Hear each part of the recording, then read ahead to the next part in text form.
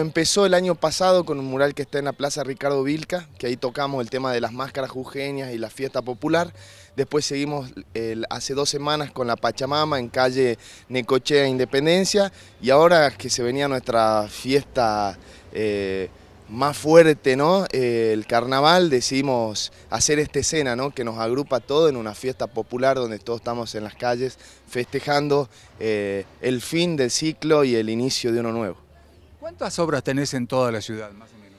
En la ciudad más o menos eh, son ya 28 obras que vamos haciendo. se suman algunas que están en Monterrico, en Ledesma, en Perico, Hicimos una en Huacalera hace poco, hay otra que está en Santa Ana, en Tilcara. En total casi son como 33, así que cada vez más, más mural en la ciudad. La idea es que con esta serie se arme un recorrido y podamos mostrar la infografía de todas las obras que están en la ciudad para que tengamos un recorrido, ¿no?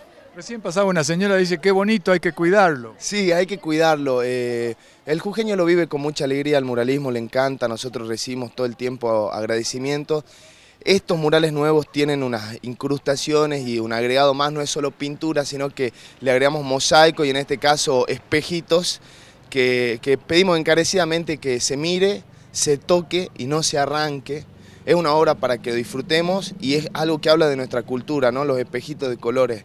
Eh, la historia eh, tiene mucha historia ese, ese significado